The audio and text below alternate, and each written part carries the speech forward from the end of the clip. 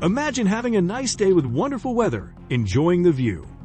But all of a sudden you start hearing the emergency sirens. What's going on? Suddenly, you see a tornado in the distance coming in your direction. What should you do to survive it?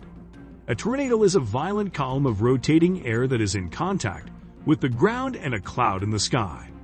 It hits everything with massive winds and causes huge destruction to anything in its paths. Although safety during a tornado is not guaranteed, there are many tips to help you save your life before a tornado hits. The first thing you need to do if you are living in an area that is known for tornadoes is to have a reliable way of being warned about tornadoes. Something like an emergency weather radio or turning on emergency alerts on your phone. Make sure to keep an eye on the weather forecasts frequently, and if you have any warnings that bad weather is ahead, you should then cancel all your outdoor events or bring them inside your house as it would be much easier to survive inside the safeness of your house walls. Even if there is a small possibility of a tornado occurrence, you must take it seriously. You should always have a plan before the tornado hits, like where to seek shelter and what to take with you. Every one of your family should know the plan just in case you weren't with them during the tornado.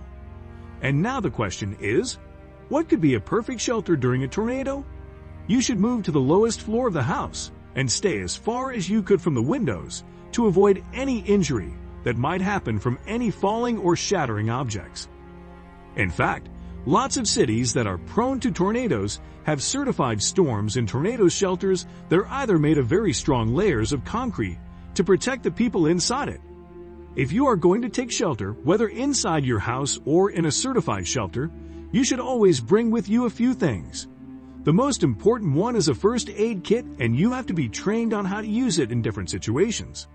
For example, you have to know how to stop bleeding to save the injured person's life. If you are taking shelter in one of the certified shelters, try bringing in an extra amount of water and food as it could be possible that there is a shortage of those in the shelters. You should also make sure that the gas is turned off in order to prevent any fire from happening.